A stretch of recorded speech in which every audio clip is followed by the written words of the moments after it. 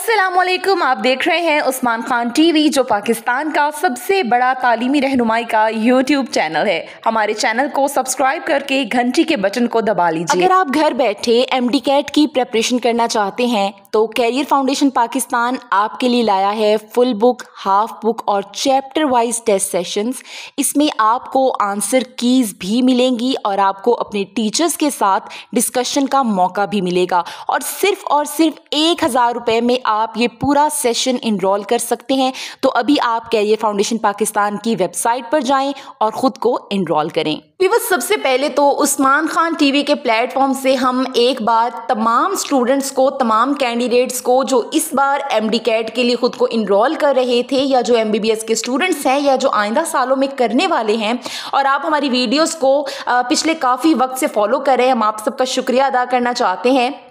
और इसके अलावा हम आप सबको कॉन्ग्रेचुलेट करना चाहते हैं क्योंकि गवर्नमेंट की जानब से एक बहुत बड़ा स्टेप लिया गया है पीएमडीसी का बिल पीर के रोज़ जो है वो सेनेट में पेश किया गया, लेकिन अभी इस बिल के अंदर मज़ीद कुछ तब्दीलियाँ मुतव हैं। उन तब्दीलियों को कर देने के बाद चार अगस्त को दोबारा से ये बिल पेश किया जाएगा और इन उम्मीद है कि ये बिल अब पास हो जाएगा। अगर तो सेनेट का ये सेशन चार अगस्त को बैठता है तो ये बिल चार अगस्त को ही पेश किया जाएगा। लेकिन कुछ जगहों पर इंफॉर्मेशन ये भी है कि ये बिल पाँच अगस्त को पेश किया जाएगा। तो लेट सी क्योंकि हम जानते हैं कि सेनेट की जितने भी सेशंस थे, पहले भी उनकी तारीखों में बहुत ज़्यादा तब्दीली देखने को मिली है हमें। अब हम आपको बताते चलें कि बिल जब पास हुआ है, उसके हवाले से जो एक इम्पोर्टेंट नुकात हैं, जो आप लोगों के लिए जानना बहुत ज़्यादा ज़रूरी है। इनमें सबसे पहले तो ये बताते चलें कि सेनेटर सलीम मांडियावाला और कौडा बाबर ये दोनों वो लोग हैं, जिन्होंने सबसे पहले पीएमडीसी का ये नुकता उठाया था कि पीएमसी की जितनी भी तैनातियाँ हैं, वो इलीगल हैं और इनको ख़त्म किया जाए। इन्होंने ये बिल रिकॉन्स्टिट्यूट किया है और इसको जो है इन्होंने पेश किया है। इन्होंने ये कहा है कि नेशनल असम्बली में ये बिल क्योंकि पास हो चुका था, इस बिल को अब कुछ अमेंडमेंट्स करने के बाद दोबारा से सेनेट में पेश किया जा रहा है, और हम चाहते हैं कि ये बिल जो है ये मंजूर हो जाए। अब ये जो दोनों सेनेटर्स हैं, इनके हवाले से आपको ये भी बताते चलें कि ये दोनों सेनेटर्स पीडीएम की जानब से हैं, क्योंकि इनकी जो है गवर्नमेंट में बहुत ज़्यादा अक्सरियत है सेनेट में इन लोगों की अक्सरियत मौजूद है। तो ये बिल पास होना कोई बहुत बड़ी या मुश्किल चीज़ नहीं है इन लोगों के लिए।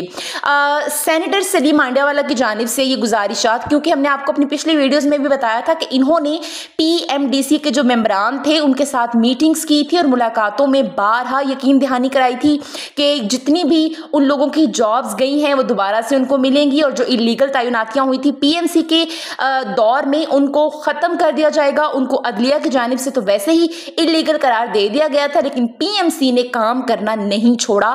पीएमसी ने जो है रेजिग्नेशन नहीं दिया और पीएमडीसी के हाथ में ये होल्ड नहीं आ सका।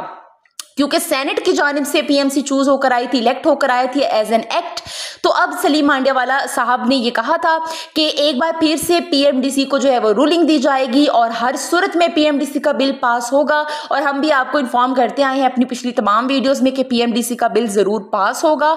और इन अब इस बिल के पास होने में महज ज़्यादा से ज़्यादा भी एक हफ़्ते का मजीद वक्त लग, वक्त लग सकता है. हमें अफसोस है इस बात का कि स्टूडेंट्स का बहुत ज़्यादा वक्त ज़ाया हुआ है क्योंकि अब एम कैट का एंट्री टेस्ट जो है वो सर के ऊपर आन पड़ा है।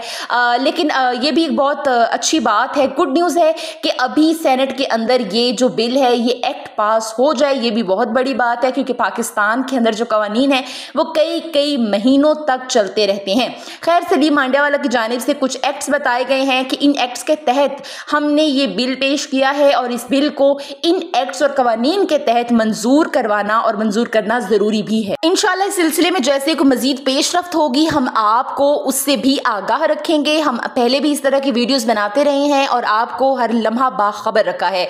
मजीद इस तरह की खबरों से हर लम्हा बाखबर रहने के लिए उस्मान खान टीवी को सब्सक्राइब करके घंटी के बटन को दबाना मत भूलिएगा। खुदा हाफिज़।